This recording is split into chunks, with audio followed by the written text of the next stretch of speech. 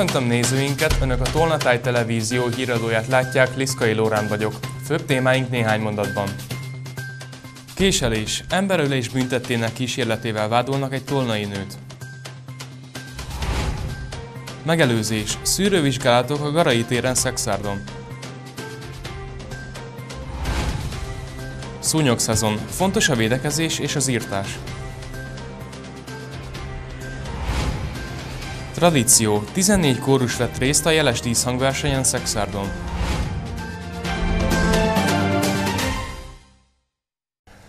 Emberölés büntettének kísérletével vádolják azt a tolnai nőt, aki 2023. februárjában késelte meg akkori élettársát. Az ügy előkészítő ülését a szexárdi törvényszéken tartották.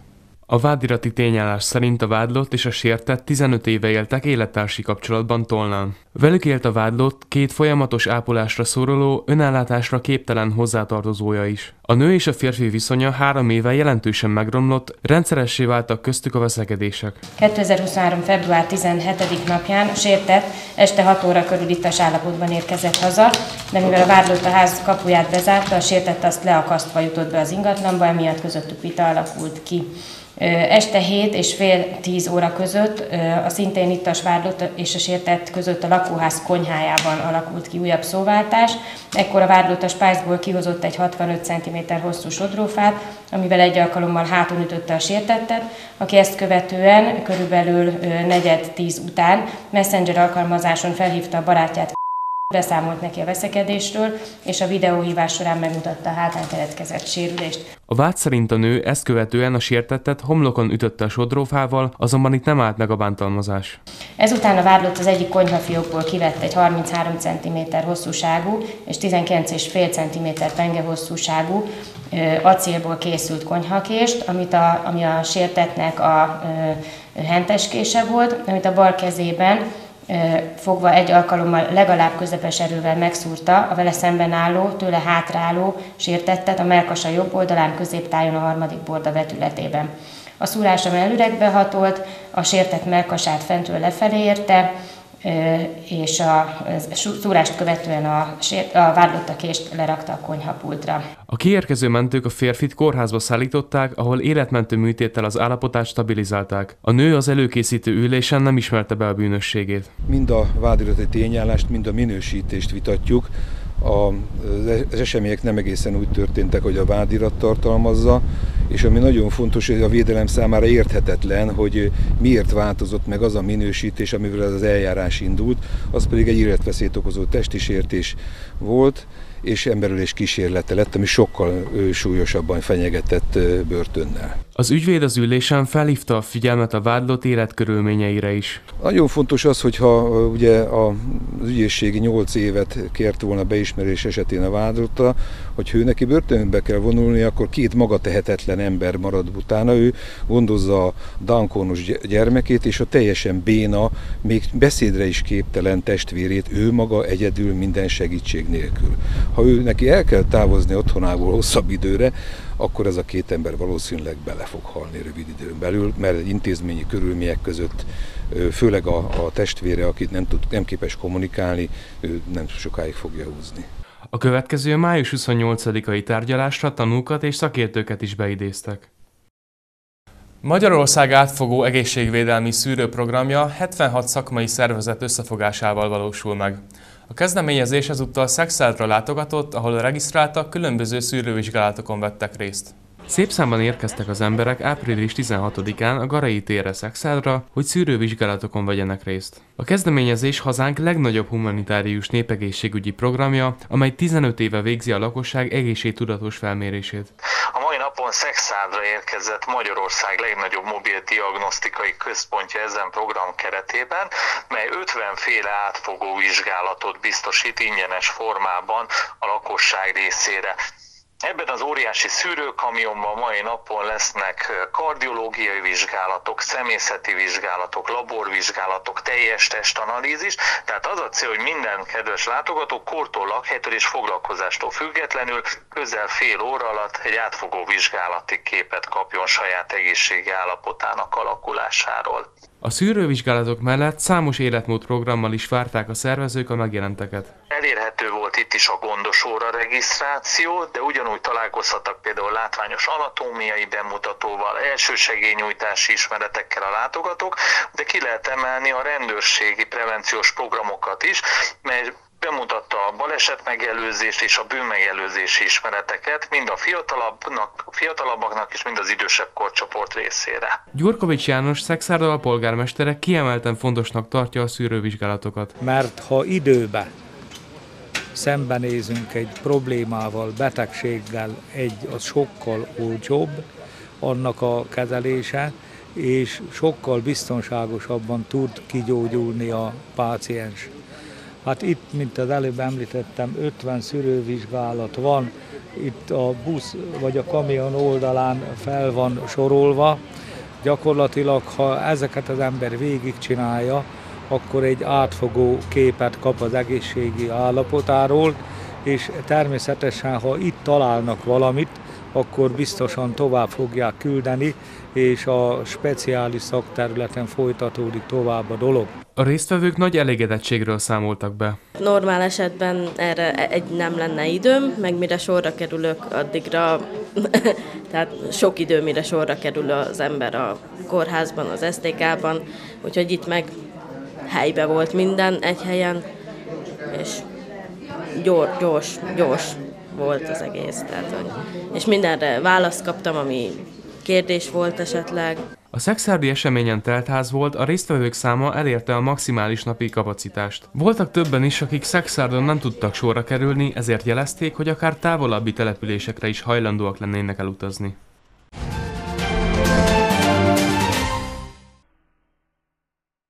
Bátaszéke autópálya alosztály járőrei a hétvégén Bátaszék térségében az 55-ös főúton ellenőriztek egy román honosságú autószállítót, amely a trélerén két kocsival közlekedett. Az egyenruhások nem csak a sofőrt és a furgont ellenőrizték, hanem az autókat is.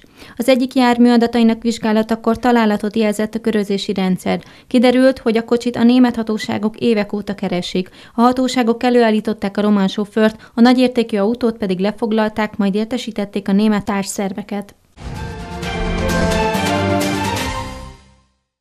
A Szexárdi Járásbíróságon folytatódott annak, ami 2019-ben történt balesetnek a tárgyalása, mely során három ember életét vesztette. A vádírati tényállás szerint egy mezőgazdasági vontatóból és a hozzá kapcsolt pótkocsiból álló szerelvény hajtott ki 2019. október 2-án reggel 5 óra körül a 631-es főútra, úgy, hogy a jelzés ellenére nem biztosított elsőbséget a főúton közlekedő személygépkocsinak, ami a megengedett sebességnél többel haladt.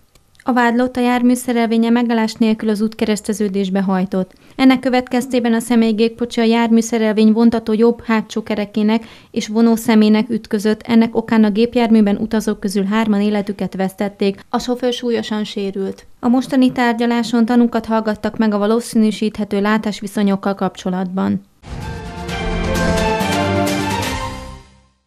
Dr. Hetesi Zsolt, a Pécsi Tudományegyetem Matematika és Informatika Intézetének tudományos főmunkatársa tartott előadást Dombóváron a mesterséges intelligenciáról. Az egyetem egyik legújabb stratégiai iránya a mesterséges intelligencia, az intézet feladata pedig, hogy kidolgozza az ezzel kapcsolatos tananyagokat.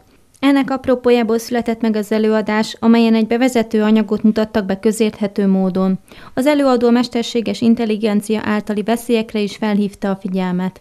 Igazából itt inkább az a probléma, hogy egyrészt elmosódik a valós és a virtuális közötti határvonal, továbbá ma már minden további nélkül lehet olyan fényképeket manipulálni, amelyeket az ember nem szeretne magáról látni, és általában is ennek a jogi és etikai szabályozása mindig az események mögött fog kullogni, mint ahogy eddig is ott kullogott. És a másik, hogy ugye nyilván már a mobiltelefon használata, az állandóan elérhető internet is megváltoztatta az életet, ezt pedig egyelőre szinte be se tudjuk képzelni, hogy mennyire fogja megváltoztatni, én becslések, becslésekre sem vagyok hajlandó, mert nem tudom megmondani.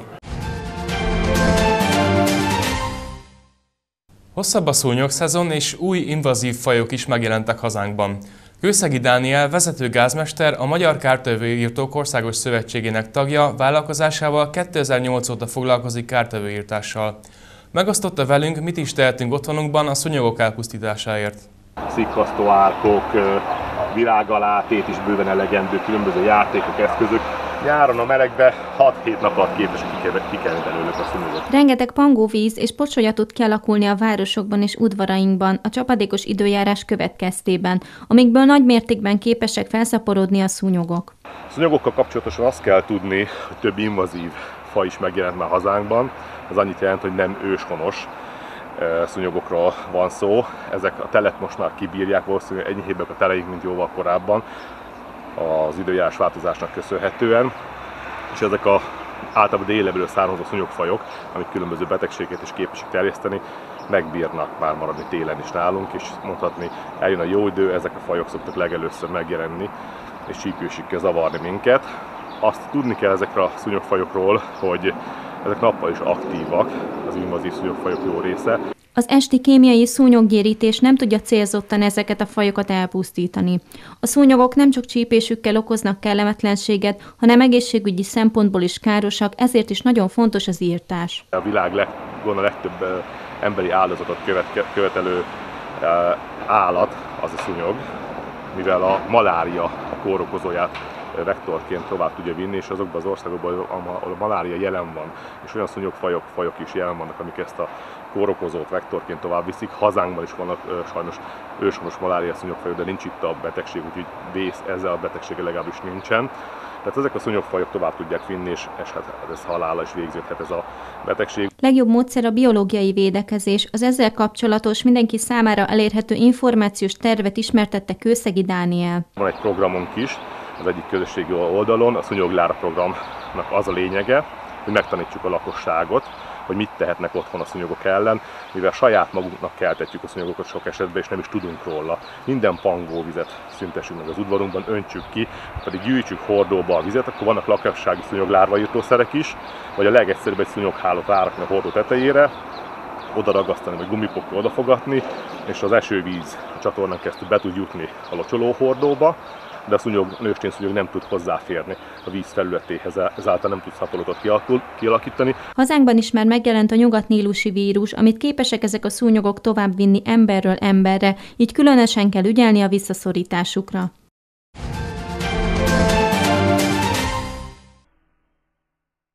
Az illúzió mesterei által tartott bűvészsóval nyűgözték le a közönséget Dombóváron. A bűvészek élete bár nem könnyű, mégis ez a szakma örömforrás az előadónak és a közönségnek is egyaránt. Hajnóci Soma kétszeres világbajnok bűvész, aki a hazai versenyeken ma már zsűritakként vesz részt, ismertette, milyen sokoldalúnak kell lenni a színpadon. Én azt gondolom, hogy a bűvészet azért egy nagyon érdekes szakma, mert eh, na- nagyon sokfajta tehát a kommunikációs készség, a kézügyesség, az emberek menedzselése ugye a színpadon, a, a, a pszichológia szerepe is itt azért közrejátszik, a mozgás, a, a színházi dolgoknak a megértés, ez nagyon sok ö, apró részletből tevődik össze ez.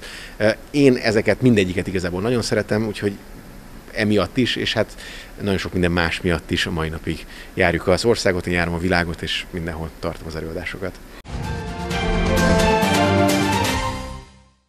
A televíziózás továbbra is meghatározó napi szabadidős tevékenység hazánkban annak ellenére, hogy Európa legtöbb országában, de a világ számos táján is csökken a televízió népszerűsége. A föld népessége napi szinten 2 óra 25 percet tévézik. Az európaiak majdnem egy órával többet, átlagosan 3 óra 22 percet, míg mi, magyarok az ezredforduló óta töretlenül legalább 4 órát ülünk a képernyő előtt egy átlagos napon. Derült ki a Nemzeti Média és Hírközlési Hatóság friss elemzéséből. Elkészült az öreg telepi buszmegálló nagymányokon, ami teljes felújításon esett át. Április 15-én került sor a végső munkálatokra a nemes vakolat felhordására. Bartuc Máté a település polgármestere Facebook oldalán azt írta, reméli mindenki vigyázni fog a buszmegállóra, így az sokáig szép lesz. 14 kórus hangja csendült fel Szexárdon a Babics Mihály Kulturális Központban az Éneklő Ifjúság díszhangverseny keretében.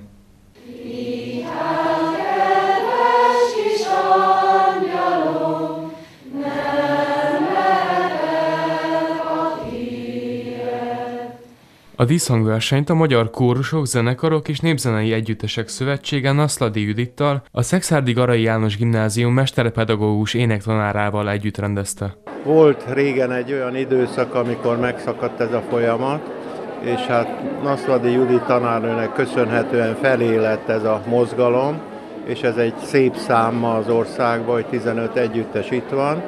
Külön öröm, hogy Bács-Kiskun vármegyéből is van itt kórus, Bajáról, méghozzá három, tehát az utóbbi időben más megyékből is jöttek, sajnos most Baranya megyéből nem jött, úgyhogy ez is színesíti a dolgot, mind általános iskolai vonalon, mind pedig középiskolás vonalon. Az esemény különböző évfordulók miatt is jelentős volt. A másik alapvető dolog, amit figyeltem a műsorokat, megköszönve majd kórusoknak, hogy ugye Bárdos Lajos 125 éves születési évfordulója van, Szőnyi Erzsébet 100 éves, és Daróci Bárdos Tamás 5 éves halál évforduló, és több kórus énekel ezektől a szerzőktől, tiszteletből, tehát ez is egy nagyszerű dolog. A zsűri szakmai vezetője a verseny kezdete előtt a színvonal javulását tartotta szem előtt. Mindig az ember várja, meg szoktam ilyenkor nézni az elmúlt évi, hogy mit írtam a kórusokról, és aztán várja az ember, hogy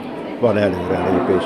Reméljük, hogy lesz előrelépés. Naszali Judit azt tartotta fontosnak, hogy a gyerekek jó ízűen énekeljenek. Ne arra gondoljanak, hogy úgy kell teljesíteni, hogy kötelező valamit elérni, hanem szívből és örömmel énekeljenek a gyerekek, és erre gondoljanak vissza hosszú sokáig.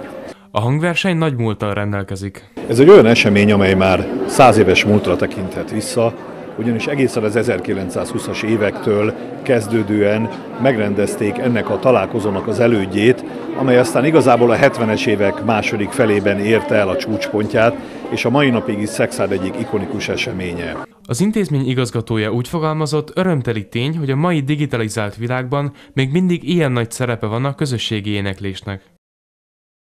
Regionális híreink következnek. Közpénzek és luxusigények. Botrányosnak tartja a városházi elképzelést a politikus. Balaton. A hétvégi jó idő sokakat vonzott a tóhoz. Fejlesztések a Pécsi cégnél. Válaszokat adtak a gazdasági kihívásokra.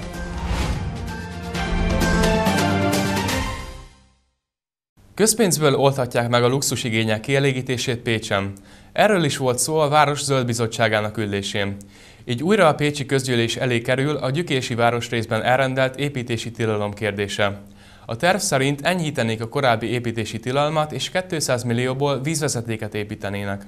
Tiltakozó gyükésiek a Pécsi közgyűlés tavaly szeptemberi ülésén az önkormányzat építési tilalmat akart elrendelni akkor a város részre. Kaptuk az információt arról, hogy építési tilalom kerülne bevezetésre gyakorlatilag gyükés egész területére, kivéve meglepő módon az önkormányzati területekre. Ezért jöttek a testületi ülésre tavaly, hogy ezt megakadályozzák. Nem így oldunk meg problémákat hogyha valakivel valamilyen viszonyt akarunk kialakítani, akkor megkérdezzük, oda megyünk a helyszínre, megnézzük, hogy mi a helyzet, és akkor ezt sokkal simábban, egyszerűbben lehet rendezni. Mondta akkor a szóvivőjük végül nem egész gyükésre, hanem csak 40 telekre rendelték el az építési tilalmat. Nem szükséges ez a nagyfokú tilalom, ezt a nagyfokú föntartani. Erre jutott a Pécsi vízszolgáltató a döntés után fél évvel. Új vízvezeték épül a területen, hogy a víznyomás megfelelő maradhasson. A polgárok egyébként teljesen jogszerűen élni szeretnének azzal a lehetőséggel, hogy nekik ott egy építési telkük van, Viszont az is tény, hogy ez meg az infrastruktúrát is biztosítani kell, és jelen pillanatban ez a vízellátás szempontjából még nem megfelelő. Tehát a vízellátás javulásával párhuzamosan történik ennek a rendeletnek az enyhítése. Ennyi történt. Csak hogy a hírek szerint medenceépítés miatt adódtak korábban a gondok.